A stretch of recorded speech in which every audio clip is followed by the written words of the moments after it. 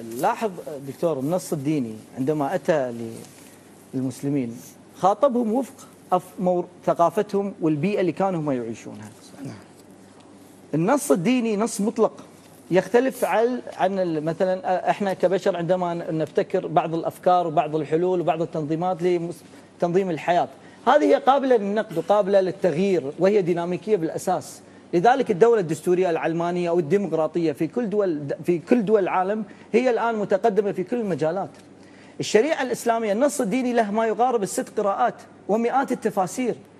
وكل مذهب كلامي يحتكر الشريعة في نفسه أصبح المسلمون اليوم يعبدون الطائفة أكثر من دين الطائفة ويعبدون الدين أكثر من رب الدين وبالتالي هذه مشكلة النص المطلق سيجعل الجميع يحتكر الحقيقة المطلقة. ولاحظ إحنا قاعد نعيش في أزمة طائفية بحتة في كل مكان. الناس صايرين يستفزهم أي موضوع يتعلق بالدين.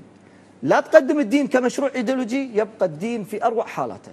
أما إنك تقدم الدين كمشروع إيديولوجي ويفرض على الناس يصير أخطر من النووي. يعني تشوف إن الدولة العلمانية وهي الدولة الأبقى العلمانية لكل إحنا دو... إحنا إحنا على مستوى إحنا على مستوى الثقافة طائفيين وديكتاتوريين ومستبدين. هذه العقلية العربية للأسف.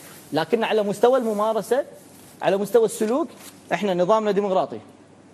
وليبراليين وعلمانيين في حياتنا نستخدم كل ما أنتجه الوعي الأوروبي والعل وال وال والعلماني نستخدمها في كافة حياتنا.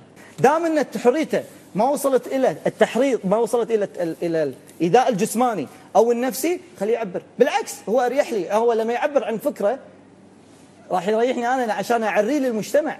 حتى لو داعش عندنا. داع داعش لا الإيذاء الجسماني. أنا قلت لا يصل لا قضية. الإيذاء داعش. الجسماني. أنا أعطيك شيء.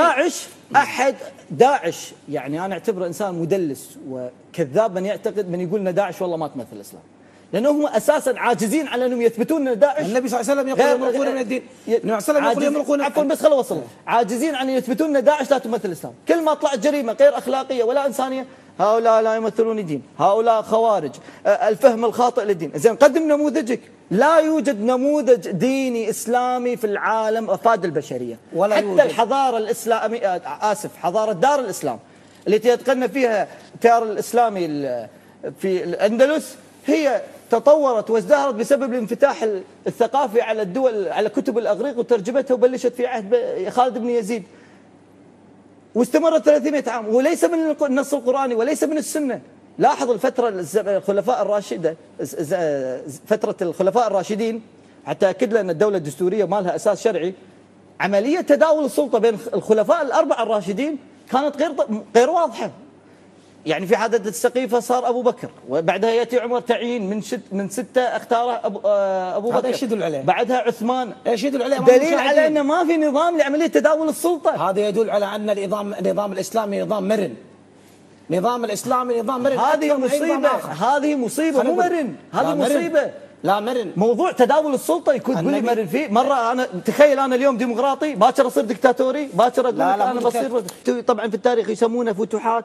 هو بالأصل في علم السياسة نسميه استعمار.